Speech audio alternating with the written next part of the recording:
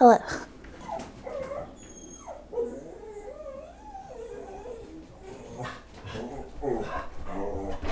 Hello.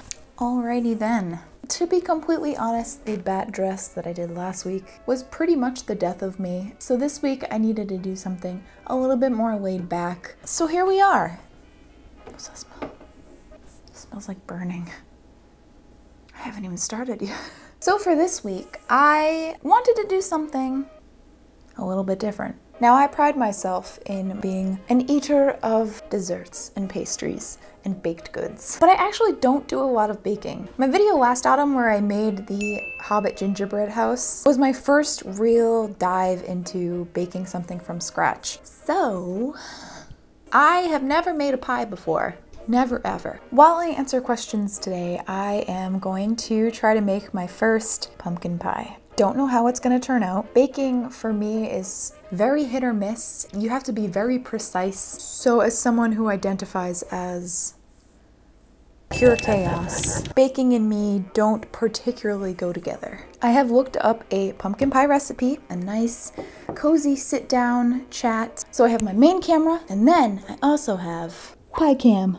Normal camera. Pie cam. Sound good? Now my guess is that I should make the pumpkin filling first because the actual crust you need to have like really really cold butter. So I don't really want it to melt before I can, you know. I wish recipe sites weren't so confusing and out of order. Directions, please. So I just went to the store and I got all the ingredients that I think I need.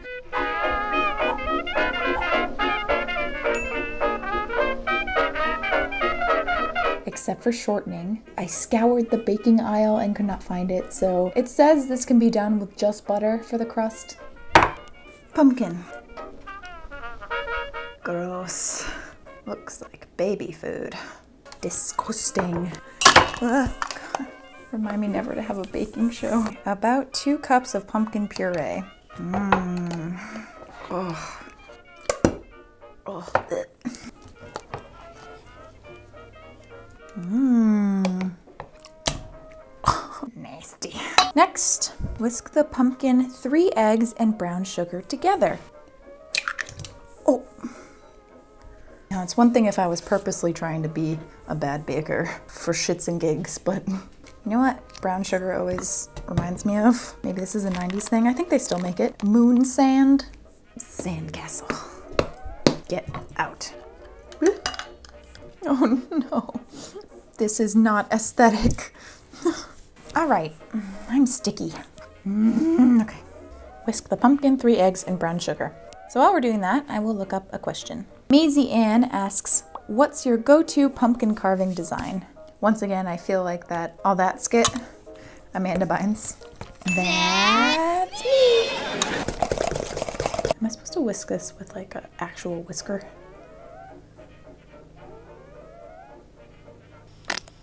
Probably. Okay. I made this little chart last year and I still stand by it. Because the older I get, the harder it is for me to decide what to carve into my pumpkin. I usually go with the little pumpkin face from Over the Garden Wall. As the years go on, it's getting increasingly harder. One tablespoon of cornstarch. I don't even know what that is. Salt. Bloop. Half teaspoon of ginger. Cinnamon. Bloop. Cloves. Okay. Oh,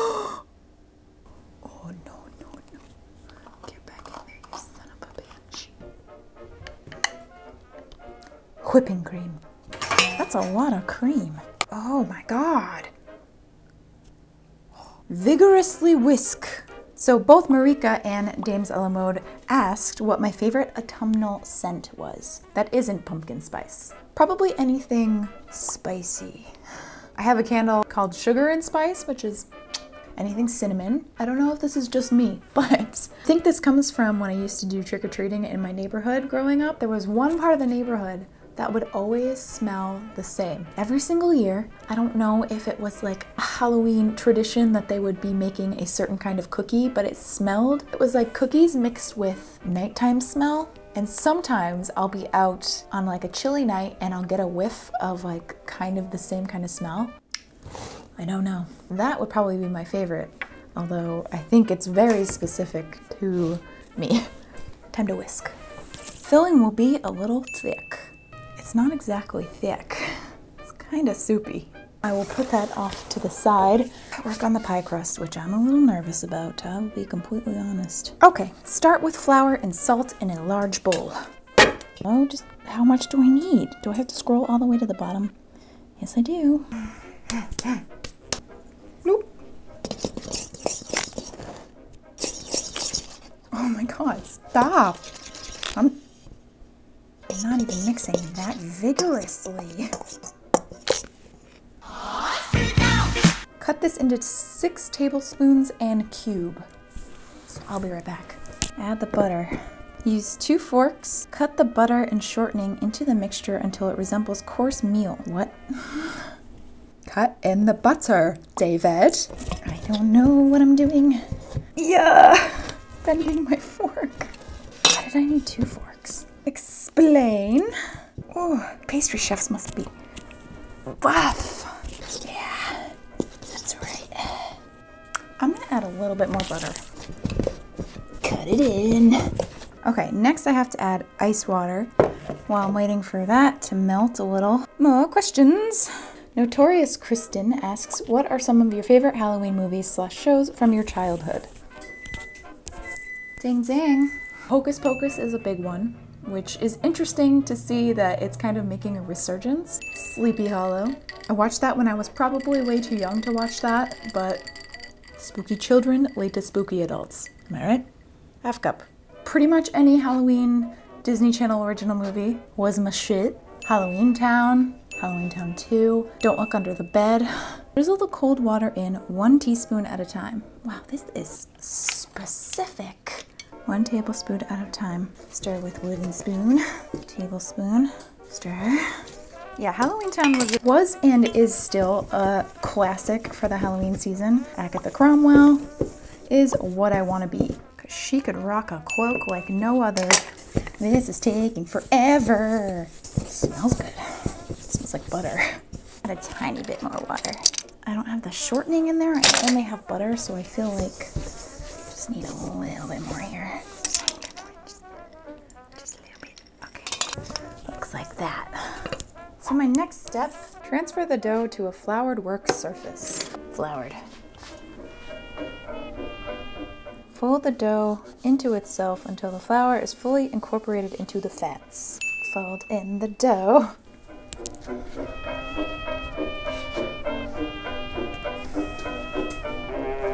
Cut the dough in half. Bloop. Flatten each half into one inch thick discs. Two little butt cheeks. So I kind of messed up because it says refrigerate for at least two hours or up to five days. I am gonna stick it in the freezer for an hour-ish and hope that that is enough. Oops. While I wait for that to cool, let's answer a couple more questions. Cozy. Mooney Perez asks, are you an outdoor Halloween decorator or more of an interior only slash mostly kind of person? Truthfully, no, that's not a word. Truthfully, I'm definitely more of an interior kind of person. Although we do put Halloween decorations outside. Like last year we did just very simple hay bales with pumpkins on them. Mostly I have interior decorations for Halloween.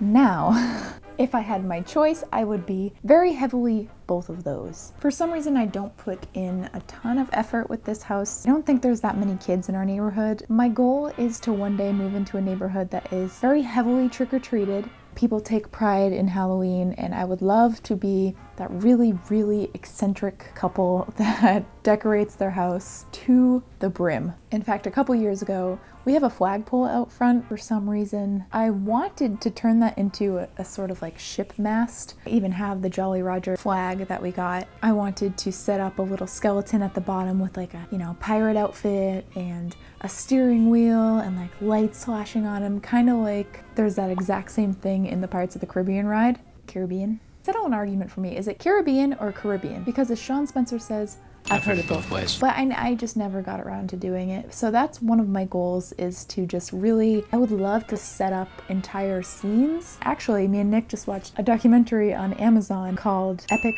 Home Haunts. It's about these people in California that basically open up a haunted house in their yard for people every year. I kept telling Nick the whole time we were watching it that that's kind of like a retirement goal for me is to either rent out a space or just buy a space, make a haunted house. Create the sets, buy antique props and such. Just like set design, add cobwebs on everything, little details that maybe no one would notice. This is a very long winded explanation for this question, but one year, I think I was like 12, me and my mom, we set up a haunted house in our half of our garage. So we set up like tarps and we got props and we played spooky sound effects and music and my mom would sit at the corner wearing a mask and just like not move. Then when people would go grab the candy, of course, she would scare them.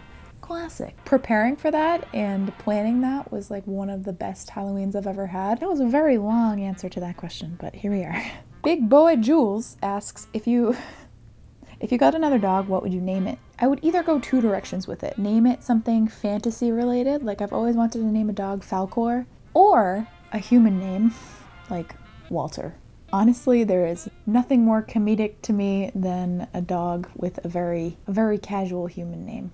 Are there any other crafty hobbies slash activities that you haven't tried that you would like to? I would love to get into knitting or crocheting, kind of in the same spectrum of making your own clothes, but I have no idea how to do it. And I don't honestly know that I have the patience to do it. I think I tried when I was like 10 or 11. I got pretty far with it. I think I made like a tube once, a scarf for ants.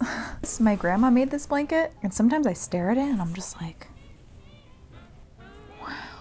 What's your favorite Halloween costume from when you were little? Unfortunately, I don't really remember many of my costumes. Do remember one year I went as Amidala. I really, really wish I could find that photo. Basically, it was this really chintzy, it was like her red gown with the uh, bulbs at the bottom. It had this like plastic headdress that was supposed to look like her hair. The one part right here digging into my forehead all night and it was so painful. but other than that, it was a good costume. My mom helped me do like the face paint and such. How is the whole self-employed thing going? You doing okay? You got any new goals? It's going pretty good. Very content with how things are right now. Career-wise, I'm, you know, don't get me started. But yeah, I've gotten, I think I've gotten a lot better with planning, being a bit more strict with myself, a freedom that I never thought I could have. But yeah, I'm really happy with how things are. 2020 feels a little bit weird in terms of goals because going into 2020, my goals were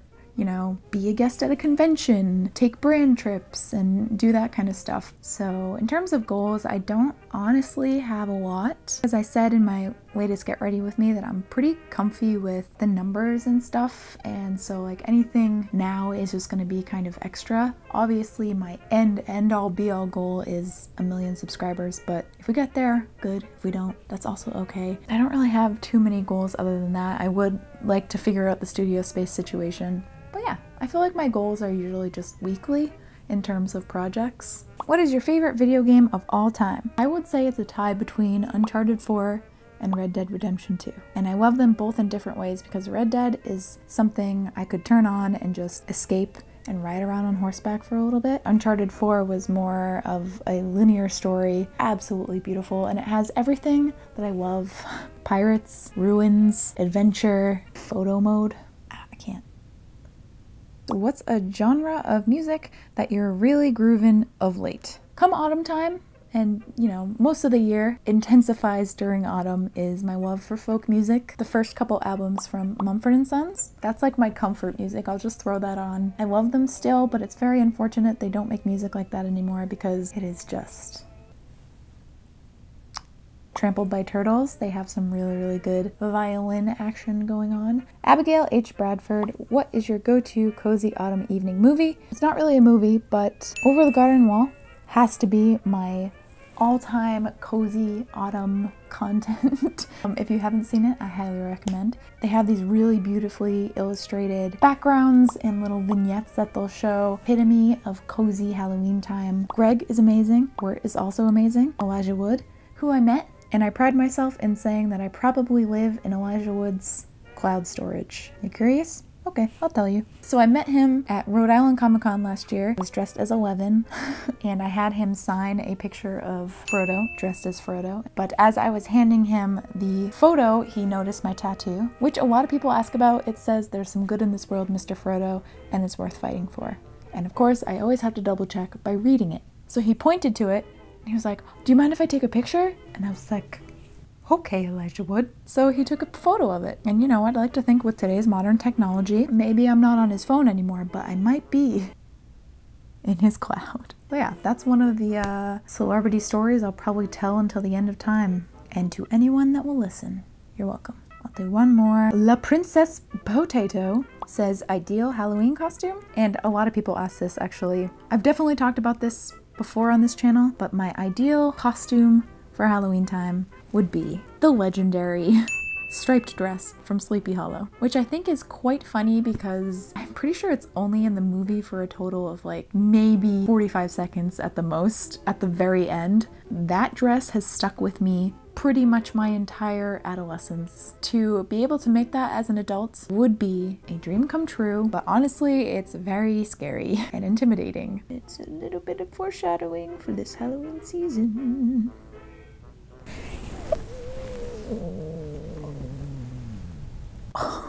wow. Mm-hmm. Mm-hmm. I would say these are thoroughly chilled. Roll out the crust. Always use gentle force. You are not mad at the crust. Oh boy.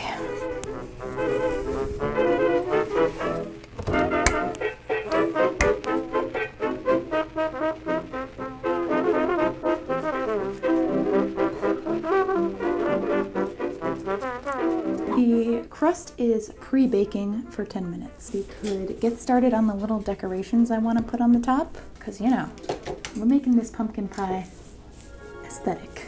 Cookie cutters from the craft store. Hey, yeah.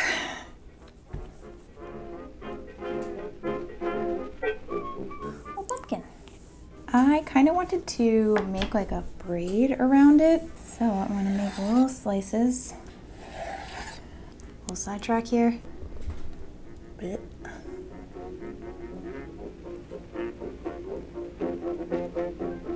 All right, now this goes back in the oven an hour. I'm trying to braid these babies.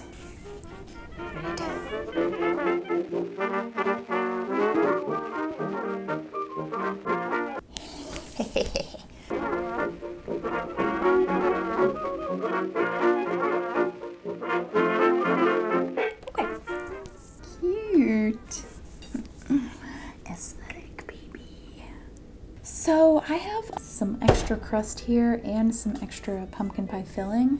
I don't want to waste it, so I think what I'm going to do, probably off camera, make like mini pies in a cupcake tray or something. I think we have new neighbors, and I feel like maybe like a little plate of mini pumpkin pies. Who wouldn't like that? Let's do a couple more questions before we do that. Christiana Gibbard says, what are some couples Halloween costumes you've always wanted to try? One thing I've always wanted to do, the two main characters from Box Trolls, because I think they kind of look like me and Nick. Although Nick has a beard now and I won't let him shave it off, so. Alethea Cosplay says, what thing takes up most of your time working? Making the thing or editing? That entirely depends. I think most of the time making the thing takes more time because it's usually a week-long sewing project, but editing does take quite a while that I think maybe if I were to tally up all the hours that I made something, it would probably be close to editing time. Editing can usually take me anywhere from 8 to like 12 hours of just non-stop and I definitely don't give myself enough time to edit. Usually I'll do one big pass of just putting all the content where it needs to be and editing it all. And I'll do another pass where I add text, any funny edits I want to do, photos, references, that kind of stuff. Put like the pops and the dings and the, all the audio cues. And I'll do one more pass where I put all the music in. I do an adjustment layer, which is basically just, you know, making something brighter or a certain color. All that together doesn't seem like it would take a long time, but when you're editing 20 to 30 minute videos, it, it definitely sneaks up on you. This one asks, if you could have any animal, magical creature or not, as a pet, what would it be? Probably a raccoon. I know that they're probably um, vicious. I just, I love their little hands. And when they like scoop stuff up and then run away on their hind feet, I just... Colonel says, best costume design in film in your opinion? I think there's no way this isn't going to be biased. I would say anything Colleen Atwood has done, which is a lot of Tim Burton movies, or honestly, Pirates of the Caribbean. Caribbean. Well, we'll find out. Coming from someone who has done a lot of research on Jack Sparrow's outfit because of cosplay, I can tell you that there are so many tiny little pieces. So just in terms of detail, I would say that movie is one of my top favorites for costume design. I'm gonna make my little mini pumpkin pies and then I will check in when it's time to put this little decal in the oven See you in a little bit. Except not really. See you in a lot of bit.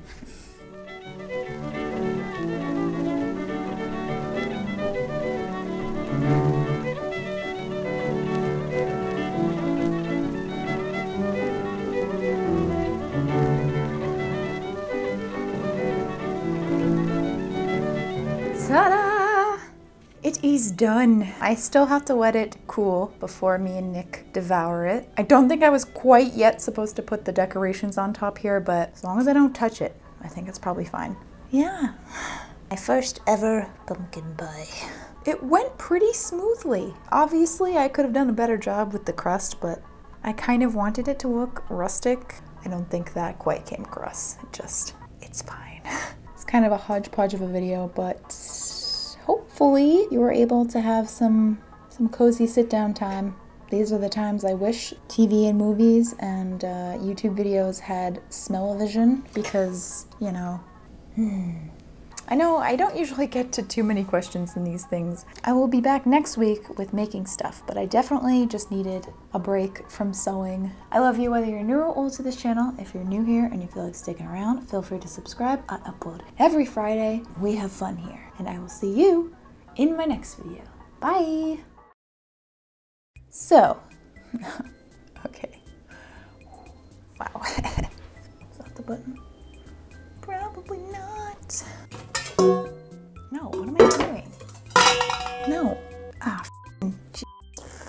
Because the shaw's, but it, I, bleh. what are some couple,